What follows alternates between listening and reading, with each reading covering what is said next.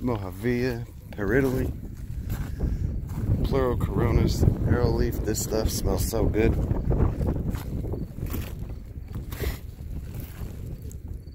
Coreocarpus,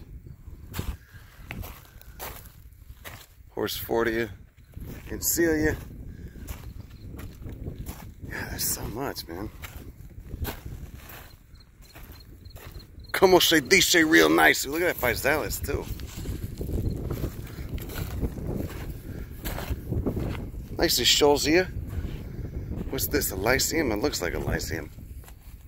Who knows? so green and it contrasts so perfectly with the rhyolite. God damn!